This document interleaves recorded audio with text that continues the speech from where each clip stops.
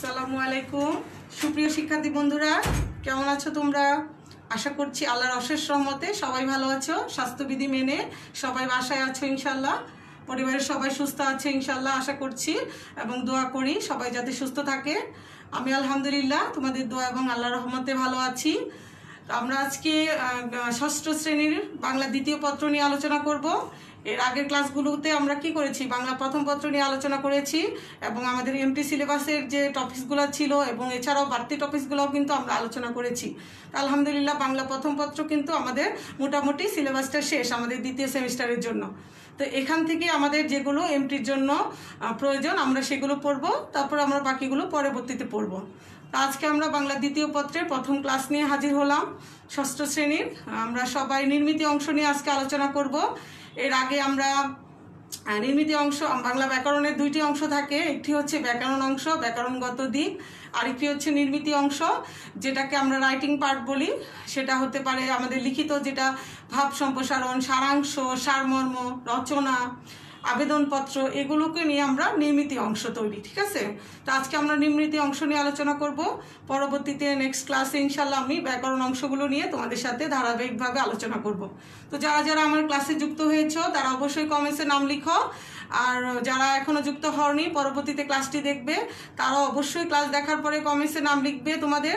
কারণ আমি বারবার সব প্রত্যেকটা ক্লাসেই বলছি যে তোমাদের কি অনলাইন অ্যাক্টিভিটিসের জন্য আমরা পঞ্চাশ মার্ক রেখেছি ফিফটি মার্কস তো সেক্ষেত্রে তোমরা ক্লাসটা ঠিকমতো ফলো করছ কি না কমেন্টস দিচ্ছ কি না তোমাদের বিভিন্ন ধরনের অ্যাক্টিভিটিসের উপরেই কিন্তু আমরা মার্কসটা দিব তোমাদের। সেক্ষেত্রে তোমরা এই মধ্যে ছবি পাঠাবে, তোমাদের পরীক্ষা প্রশ্ন সংক্রান্ত কোনো বিষয় জানার থাকলে, তোমাদের প্রত্যেকদিনের যে হোমওয়ার্কটা আছে সেটা ভালোভাবে তোমরা কালেক্ট করছ কি না সেটা আবার আমাকে এই মধ্যে পাঠাচ্ছ কি না সব বিষয়ই কিন্তু আমি এখানে কি করব মনিটরিং করব। প্লাস তোমাদের নাম্বারটা আমি দিব। তো অবশ্যই তোমরা সেই বিষয়গুলো খেয়াল করবে। তো আমরা আজকে সরাসরি ক্লাসে চলে যাচ্ছি। আমাদের ব্যাকরণের দুইটা বই রয়েছে, তাই না? একটা আমাদের পাঠ্য বই, আমাদের যেটা বোর্ড বই, যেটা বাংলা ব্যাকরণ নির্মিতি। আরেকটা আছে কি? বাংলা ব্যাকরণ ও নির্মিতি, এটাও আমাদের লেকচার ইয়া থেকে, আমরা মাদ্রাসা থেকে যে বইটা, ব্যাকরণের জন্য যে বইটা দিয়েছি, দুইটা বই থেকে আমরা সব পড়ব। তো আজকে আমরা এই বইটার থেকে আমরা কিছু টপিকস আলোচনা করব। সবাই তোমরা এই বইটা বের করি। লেকচার সিরিজে দেখো, বাংলা ব্যাকরণ ও নির্মিতি অংশ, এই বইটা আমরা বের করব। এই বইয়ের থেকে আমরা আজকে টপিকসগুলো নিয়ে আলোচনা করব। তো আমরা এক নজরে বোর্ডে চলে যাচ্ছি, আমাদের আজকে টপিকসগুলো নিয়ে একটু আমরা দেখে আসি। আমরা কি পড়ব? ভাব সম্প্রসারণ পড়ব দুইটা। চরিত্র, মানব জীবনের মুকুট স্বরূপ আরেকটা ইচ্ছা থাকলে উপায় হয়। সারাংশ পড়ব দুইটা সারমর্ম দুইটা পড়ব এবং দুইটা রচনা নিয়ে একটু আলোচনা করব। তো এই টপিকসগুলো নিয়ে ইনশাল্লাহ আজকে তোমাদের সাথে আমি আছি, আমি আশা করছি তোমরা সবাই ক্লাসটা খুব ভালোভাবে ফলো করবে। তো আমরা প্রথমেই আমাদের প্রথম টপিকস ভাব সম্প্রসারণে চলে যাই। আমাদের ভাব সম্প্রসারণের প্রথমটা হচ্ছে কি? চরিত্র মানব জীবনের মুকুট স্বরূপ। এটা দুইশো ছাব্বিশ পৃষ্ঠা আছে, তাই না? আমি পৃষ্ঠাটা লিখে দিয়েছি। সবাই খুব সুন্দর করে পৃষ্ঠাটা বের করে ফেলি এবং বইটা হাতে নেই। দেখো, সাতাশ নম্বর প্রশ্নে এটা আছে, চরিত্র মানব জীবনের অমূল্য সম্পদ, তাই না? চরিত্র কি? আসলে মানুষের জীবনে তো কি টাকা, পয়সা, অর্থ, ধন, সম্পদ সবই আসবে, যাবে, কিন্তু চরিত্র যদি একবার চলে যায় তাহলে কিন্তু মানুষের জীবনে আর কোনো মূল্য থাকে না। চরিত্রটা কিন্তু খুব ইম্পর্টেন্ট একজন ভালো চরিত্রের, সৎ চরিত্রের অধিকারী মানুষের যে মূল্য সেটা পৃথিবীতেও আছে এবং আখেরাতেও আছে, তাই না? সেজন্য আমাদের কি করতে হবে? চরিত্রটা সবসময় ভালো রাখতে হবে। নৈতিক নৈতিকতা সবসময় আমাদের মধ্যে থাকতে হবে। অনৈতিক কোনো কাজ করা যাবে না। তো ভাব সম্প্রসারণ তোমাদের জন্য একদম নতুন একটা টপিক তাই না? তোমরা ফাইভে তো এটা পড়োনি। তো সে আমরা সিক্স ক্লাস সিক্সে উঠে অবশ্যই ভাব সম্প্রসারণটা সম্পর্কে জানব। ভাব সম্প্রসারণ মানে কি? কোনো একটি ভাব বা কোনো একটি গদ্যের আকারে যে কোনো লাইন লেখা আছে বা পদ্মের মতো লেখা আছে, দুই লাইন, এক লাইন, সেটাকে আমরা কি করব? ভাবটাকে সম্প্রসারিত করে, বড় করে তথ্যপাত্য বিভিন্ন ধরনের বিভিন্ন কি বলে, এর ভিতরে যুক্তি, তর্ক, বিভিন্ন প্রমাণ উপ- উপস্থাপনা করে এটাকে আরও বড় করে সব লিখব, তাই না? বড় করে যে ভাবটাকে সম্প্রসারিত করব, সেটাই হচ্ছে কি? ভাব সম্প্রসারণ। মানে ভাবটাকে সম্প্রসারণ করা বা ভাবটাকে বড় করে লেখাটাই হচ্ছে কি? ভাব সম্প্রসারণ। সেক্ষেত্রে আমরা আমাদের মূল টপিক্সটাই নিয়ে আলোচনা করব। আমরা মূল টপিক্সের উপর ভিত্তি করেই কিন্তু ভাবটাকে সম্প্রসারিত করব। অপ্রাসঙ্গিক কোনো কথা লিখব না। অপ্রাসঙ্গিক কোনো বিষয় নিয়ে যুক্তি বা কোনো উক্তি দেওয়া, কোনো তথ্য দেওয়া, সেটাও করা যাবে না। ভাব সম্প্রসারণ লেখারও কিন্তু কিছু নিয়ম তো এইটা হচ্ছে মূল কথা। আর ভাব সম্প্রসারণ লেখার ক্ষেত্রে আমরা তিনটা নিয়ম ফলো করি। সেটা হচ্ছে কি, প্রথমে তো টপিক্সটা লিখলাম, যে চরিত্র মানব জীবনের অমূল্য সম্পদ। এটার তিন কয়েকটা আছে, চরিত্রহীন ব্যক্তি পশুর সমান, চরিত্র মানব জীবনের মুকুট স্বরূপ, চরিত্রই মানুষের পরিচয়, যে কোনো, যেটা আসবে সেটার অ্যান্সার একই হবে, ঠিক আছে? এটা খেয়াল করো তোমরা। তো আমরা এখানে মূল ভাব প্রথমে এটা শুরুটা হচ্ছে কি? আমাদের টপিক্সটা লিখব, তারপরে লিখব মূল ভাব। মূল ভাব মানে কি? এই যে আমি যে টপিক্সটা বললাম, তার মূল কথাটা এখানে বলতে হবে যে কি আছে দেখো? মানব জীবনে চরিত্র মুকুট স্বরূপ চরিত্রহীন ব্যক্তি চরিত্রবান ব্যক্তিকে সবাই শ্রদ্ধা করে। আর চরিত্রহীন ব্যক্তিকে সবাই কি করে? ঘৃণা করে। চরিত্রহীন ব্যক্তির মানুষ হিসাবে বেঁচে থাকার কোনো কি অধিকার নেই? এটা হচ্ছে মূল কথা, মূল ভাব। তাহলে আমরা প্রথম টপিক্সে কি দিব? মূল ভাব। তারপরে দিব সম্প্রসারিত ভাব। ভালোভাবে খেয়াল করো, সম্প্রসারিত ভাব বানানটাও খেয়াল রাখবে।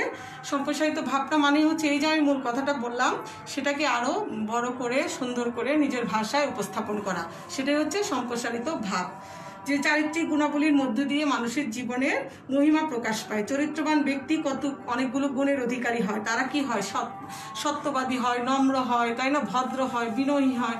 এই যে চরিত্রবান ব্যক্তির যে গুণগুলো, এগুলো কিন্তু আমরা খুব ভালোভাবে সমাজে তাদের মধ্যে কি দেখতে পারি? তারা কি হয়? পরোপকারী হয়। আর যারা চরিত্র পান না বা চরিত্রহীন ব্যক্তি, তারা পশুর চেয়ে অধম হয়। তো এই যে চরিত্রবান এবং চরিত্রহীন ব্যক্তির যে পার্থক্যটা, সেটা এখানে কিন্তু সুন্দর করে আমাদের দিতে হবে। ঠিক আছে? এখানে একটা ইংলিশেও দেওয়া আছে, তোমরা যদি এটা মুখস্থ করতে অসুবিধা হয়, এটা বাদ দিতে পারবে, কোনো সমস্যা নেই। একদম পুরাটা চরিত্র সম্পর্কে লিখবে যে, মানুষের সম্পদ হারিয়ে হারিয়ে গেলেও কিন্তু সম্পদটা ফিরে পাওয়া যায়। কিন্তু একবার যদি চরিত্র হারিয়ে যায়, চরিত্রে যদি কোনো দাগ লাগে, তাহলে কিন্তু সেটা আর কোনোভাবে ফেরত পাওয়া যায় না। তাই না? এই জন্য বলছে যে সব কিছুই শেষ হয়ে যায় মানুষের। যারা যে জাতি যে জাতি বা যে মানুষ চরিত্রবান, তারা পরস্পর পরিশ্রমী হয়, তারা পরস্পরই, পরস্পরকে সাহায্য, সহযোগিতা করেই কিন্তু উন্নতি লাভ করে। আর যারা চরিত্রহীন, তারা পশুর সমান। তাদেরকে কেউ সম্মান করে না। সমাজে তাদের কোনো কি থাকে না, মূল্য থাকে না। এই জন্য আমরা সবসময় নিজেকে চরিত্রবান হিসাবে গড়ে তোলার চেষ্টা করব।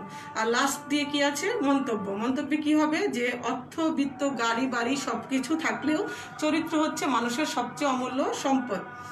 এই মর্যাদা কখনো অর্থ দিয়ে বা কি হয় না, পরিমাপ করা যায় না বা কেনাও যায় না। তোমার ভিতরে মানবিকতা তারপরে হচ্ছে নৈতিকতা, এগুলো যদি থাকে তাহলে তুমি এই কি বলে, এই চরিত্রর মান, ইয়াটা, মানদণ্ডে সেটাকে দণ্ডিত করতে পারবে, তাই না? সেটাকে বিচার করতে পারবে যে তোমার ভিতরে মানবিকতা কতটুকু আছে, নৈতিকতা কতটুকু আছে, তাহলেই বুঝব তো তুমি কতটা চরিত্রবান। সকলের উচিত কি চরিত্রবান হওয়ার জন্য সাধনা করা। এই হচ্ছে কি চরিত্র মানুষের জীবন অমূল্য সম্পদ সম্পর্কে একটু ধারণা দিলাম তোমাদের, যে মূল ভাব, সম্প্রসারিত ভাব এবং মন্তব্য। মন্তব্য বা উদাহ উপসংহার যেটাই দিতে পারো, কোনো সমস্যা নেই। এভাবে তোমরা ভাব সম্প্রসারণটা আয়ত্ত করবে। আরেকটা আছে দেখো, দুইশো ছাব্বিশ পিয়া পৃষ্ঠায়, একত্রিশ পৃষ্ঠায়, ইচ্ছা থাকলে উপায় হয়। তার মানে কি? আমার যদি ইচ্ছা থাকে, তাহলে না আমি কাজটা করব, তাই না? এই যে আমাদের এত লকডাউন হচ্ছে, এত কিছু হচ্ছে, আমরা তো পড়াশোনা আশা ছেড়ে দিয়েছিলাম, তাই না? অনেক কিছু, কিন্তু আমাদের ভিতরে ইচ্ছা বা আমাদের কর্তৃপক্ষ, আমাদের প্রতিষ্ঠানের একটা দৃঢ় ইচ্ছা ছিল, মনোবল ছিল যে না, আমরা আবার ক্লাস শুরু করব। যেভাবে হোক, যত প্রতিকূলতা হোক আমরা কিন্তু সেগুলো জয় করে ইচ্ছার ইচ্ছাটাকে বাস্তবায়ন করতে পেরেছি ইনশাল্লাহ তাই না? আল্লাহ রহমতে আমরা ক্লাস করছি। তোমরাও কিন্তু পড়াশোনা করছ, তাই না? তোমাদেরও ইচ্ছার এখানে জয় হয়েছে। তাই বলেছি কি, যে ইচ্ছা থাকলে উপায় হয়। তোমার যদি ইচ্ছা থাকে, কোনো না কোনোভাবে একটা ব্যবস্থা হয়ে যাবে, একটা পথ খোলা হয়ে যাবে। এটা হচ্ছে মূল কথা। তো এখানে মূল ভাবটা কি বলব আমরা? জীবন কর্মময়, কর্মশক্তির মূলে রয়েছে কি? উৎসাহ, উদ্দীপনা, আগ্রহের সাথে নিষ্ঠা থাকলে মানুষ কি হয়? জীবনে উন্নতি লাভ করতে পারে বা অসাধ্যকে মানুষ সাধন করতে পারে। এখানে সম্প্রসারিত ভাবের মধ্যেও আছে যে, মানুষের সব বাধা অতিক্রম করে কি তার ইচ্ছা শক্তি? যার ভিতরে প্রবল ইচ্ছা আছে, পৃথিবীতে তার কাছে যত বড় বিরাট বাধাই আসুক, সে সেই বাধাটাকে অতিক্রম করে ঠিকই জয়ের লক্ষ্যে পৌঁছে যায় বা তার যে অদম্য ইচ্ছা, সেই ইচ্ছাটাকে কিন্তু সে প্রাধান্য দিয়ে তার সমস্ত সুবিধা, অসুবিধা সব কিছু জয় করে সে লক্ষ্যে পৌঁছে যায়। ঠিক আছে? ইচ্ছা থাকলে তার কোনো কাজই কি হয় না, আটকে থাকে না। ইচ্ছায় মানুষকে কি করে? সামনের দিকে এগিয়ে নিয়ে যায়। ইচ্ছাই সকল কর্মের প্রেরণা। আর দৃঢ় ইচ্ছার কাছে সমস্ত বিপদ বা সমস্ত বাধা হার মেনে যায়। এটা আমরা খেয়াল করব। সম্রাট নেপোলিয়ান তার সেনাবাহিনী সহ আলস পর্বতে গিয়ে অসীম উৎসাহে বলে উঠেছেন, আমার বিজয় অভিযানের মুখে আলস পর্বত থাকবে না। এবং তিনি সত্যি সত্যি কিন্তু সেই দুর্গম আলস পর্বতটা পার হতে পেরেছিলেন। তার ইচ্ছা শক্তি ছিল। ঠিক আছে? এর জন্যই বলছে জীবনে কোনো ভালো কাজ করতে গেলে বা কোনো কাজ করতে অবশ্যই ইচ্ছার প্রয়োজন রয়েছে। দৃঢ় ইচ্ছা থাকলে তুমি সেই কাজটা খুব ভালোভাবে করতে পারবে। এখানে মন্তব্যে কি বলব? যে মানুষের সকল কাজের মূল শক্তি হচ্ছে তার ইচ্ছা শক্তি, আর ইচ্ছাই মানুষকে কি করে? সাফল্যের দ্বার প্রান্তে পৌঁছে দেয়। এটাই হচ্ছে মেন কথা। তাহলে আমরা এখানে তিনটা জিনিস পড়ব মূল ভাব, সম্প্রসারিত ভাব, মন্তব্য। দুইটা টপিকস নিয়ে আলোচনা করলাম ভাব সম্প্রসারণের। আমি আশা করছি তোমরা বাসায় সেগুলো ভালোভাবে আয়ত্ত করবে এবং মুখস্থ করে সবাই খাতায় লিখে ফেলবে এবং ইমোতে ছবি পাঠিয়ে দিবে। তা আমরা এখন দ্বিতীয় টপিক্সে চলে যাব আমাদের সারাংশ। সারাংশ পৃষ্ঠাটা দেখো আমরা দুশো ছয় পৃষ্ঠা। সবাই, আমরা দুশো ছয় পৃষ্ঠাটা বের করে ফেলি। দুশো ছয় পৃষ্ঠায় আমাদের সুন্দর করে সারাংশটা দেওয়া আছে। দুটো সারাংশ বিষয়ে আমরা আজকে আলোচনা করব। দুশো ছয় পৃষ্ঠা। প্রথমটা কি আগের দিনে লোক ভাবতো? আকাশটা বুঝি পৃথিবীর উপর একটি কঠিন কিছু ঢাকনা। আমরা এর আগে আকাশ প্রবন্ধটা পড়েছি, তাই না? সেম আকাশের প্রবন্ধ থেকে একটু অনুচ্ছেদ উঠিয়ে দিয়েছে এখানে। খুব মজার একটা প্রবন্ধ পড়েছি আমরা। আমার ক্লাসে আছে, তোমরা অবশ্যই ক্লাসটা ফলো করতে পারো। যারা এখনও দেখোনি কখনো তারা ভাবতো আকাশটা হয়তো পরতর পরতে ভাগ করা। কিন্তু আমরা এখন জানি আকাশের নীল চাঁদোয়াটা কি সত্যি সত্যি কোনো কঠিন জিনিসের ঢাকনা নয়। এটা কি নিতান্ত গ্যাসে ভর্তি ফাঁকা একটা জায়গা, তাই না? এটা আমরা বায়ুমণ্ডলের ঢাকনাটা মনে করতাম আকাশকে, তাই না? আসলে এই বায়ুমণ্ডলে কি আছে? অক্সিজেন, নাইট্রোজেন, এরকম হরেক রকম বিশ রকমের গ্যাস আছে, বর্ণহীন গ্যাস। আমরা কিন্তু খুব সুন্দর করে প্রবন্ধটা পড়েছি। তো এইটারই মূল কথাটা আমরা সারাংশে বলব। এর আগে আমরা কি পড়েছি? ভাব সম্প্রসারণ। ভাব সম্প্রসারণ হচ্ছে ভাবটাকে সম্প্রসারিত করা। আর সারাংশ বা সারমর্মটা কি? এটা আমাদের যে কথাটা টপিক্সটা গদ্যের আকার বা পদ্মের আকারে থাকুক, সেটাকে আমরা একদম ছোট করে লিখে ফেলব, মূল অংশটা লিখব। সেই মূল সার সার অংশটা লেখাই হচ্ছে কি? সারাংশ। আর গদ্যের আকারে যেটা থাকে, সেটাকে আমরা সারাংশ বলি। আর পদ্মর মতো মানে চার পাঁচ লাইনের পদ্মের লাইন যেটা থাকে, সেটা হচ্ছে সারমর্ম। তাহলে বুঝতে পেরেছ তোমরা? সার- সারাংশ আর সারমর্মের পার্থক্যটা? যেটা গদ্যের আকারে থাকবে, সেটা হচ্ছে সারাংশ, আর যেটা পদ্মের আকারে থাকবে, সেটা হচ্ছে কি সারমর্ম। এখন আমরা পড়ছি সারাংশ। তো এখনকে এই যে আগেকার দিনে যে আকাশ সম্পর্কে যে মানুষের ধারণা, এটার বিশাল একটা অনুচ্ছেদ দেওয়া আছে, এটাকে আমি মূল কথায় দুই থেকে তিন লাইনে এটা শেষ করব। কি দেওয়া আছে দেখো? আকাশকে এক সময় মানুষের মাথার উপর ঢাকনা মনে করা হতো। আসলে তা ঢাকনা নয়, তা হচ্ছে বায়ুর বিপুল স্তর। এখানে প্রায় বৃষ্টি, বর্ণহীন গ্যাস ও পানির বাষ্প এবং ধুলোর কি হয়েছে কণা মিশে আছে। এই হচ্ছে আকাশ সম্পর্কে মূল কথা। বাস, এইটুকু পড়লেই তোমাদের অ্যান্সারটা দেওয়া হয়ে যাবে। বুঝতে পেরেছ সবাই? অনেক ইজি তারপরে দেখো, সাজসজ্জার দিকে, পাঁচ নাম্বারটা, সাজসজ্জার দিকে বেশ ঝোঁক ছিল প্রাচীন বাঙালির।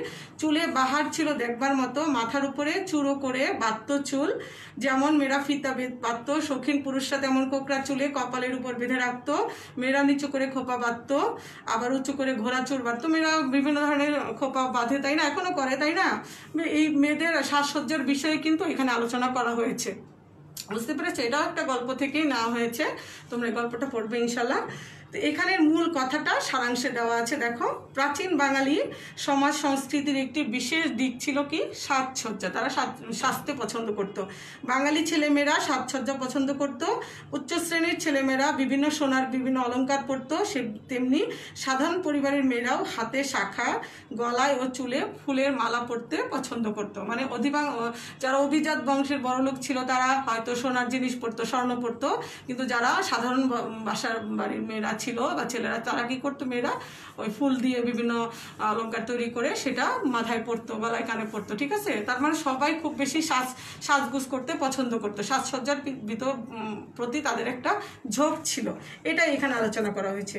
তো দুইটা সারাংশ পড়লাম আমরা। এই পরীক্ষার জন্য এই দুইটা ইনশাল্লাহ আমাদের পড়লেই হবে। বাকি একটা সারমর্ম আছে দুইটা। এটার পৃষ্ঠা হচ্ছে দুইশো দশ। দুইশো দশের সারমর্ম দিয়ে আমরা এখন আলোচনা করব। পাঁচ নাম্বারটা। শ্যামলী মায়ের কোলে সোনামুখ খুকুরে আলু থালু ঘুম যাও, রোদে গলা, দুপুরে। এটা কি বলতো? ঝিঙে ফুল কবিতা থেকে, তাই না? প্রজাপতি ডেকে যায়, বোটা ছিঁড়ে চলে আয়, আসমানে তারা চায়, চলে আয় একুল ঝিঙে ফুল। আমরা এটাও পড়েছি, কবিতাটাও খুব সুন্দর করে পড়েছি। তুমি বলো, আমি হাই, ভালোবাসি মাটি মাই, চাই না ও অলকায় ভালো এই পথফুল ঝিঙে ফুল। তার মানে কি?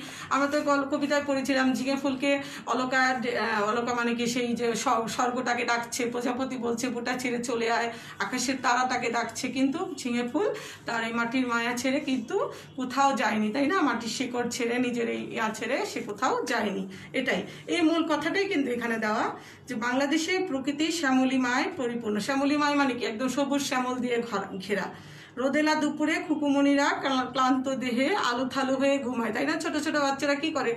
দুপুরে রোদে যখন অনেক বেশি ক্লান্ত হয়ে যায়, তখন কিন্তু এমনি বিছানায় গড়াগড়ি করে ঘুমিয়ে যায়।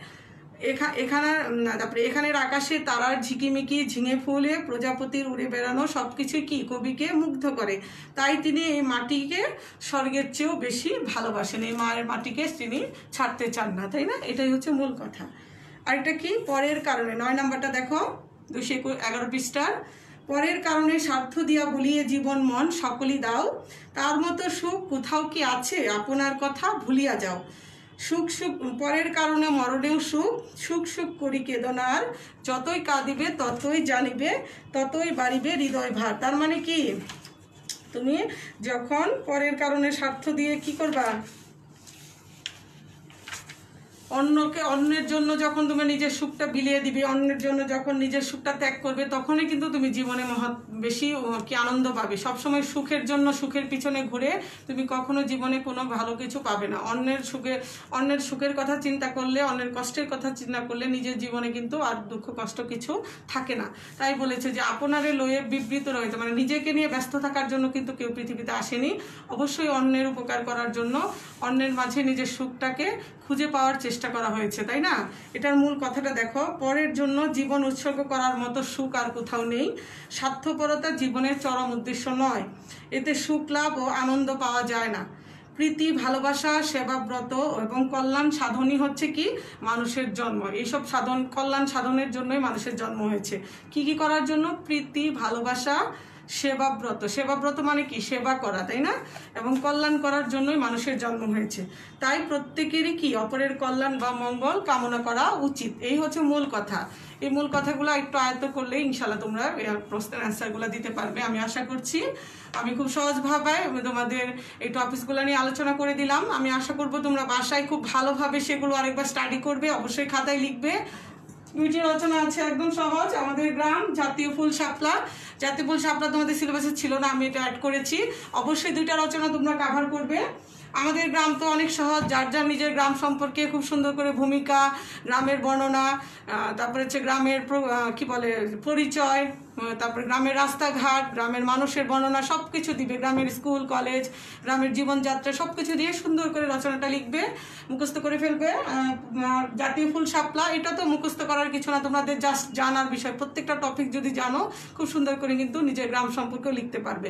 এছাড়াও জাতীয় ফুল শাপলা আমাদের সবচেয়ে পরিচিত ফুল এবং জাতীয় ফুল এবং শাপলা কয় ধরনের হয়, কি, কোথায় কখন ফোটে, কোথায় পাওয়া যায়, এটার আকার, আকৃতি এটা দিয়ে আমাদের উপকার মানে সব কিছু সুন্দর করে জাতীয় ফুল শাপলা আমাদের বাংলা ব্যাকরণ নির্মিতি অংশ বইয়েও আছে, এই বইটাতেও আছে, এবং যে যেখান থেকে পারো খুব যেটাতে তোমাদের ইজি হয়, সেখান থেকে ইনশাল্লাহ পয়েন্ট আকারে শিখে শিখে রাখবে, পরীক্ষা আসলে যেন খুব ভালোভাবে সেটা তোমরা লিখতে পারো।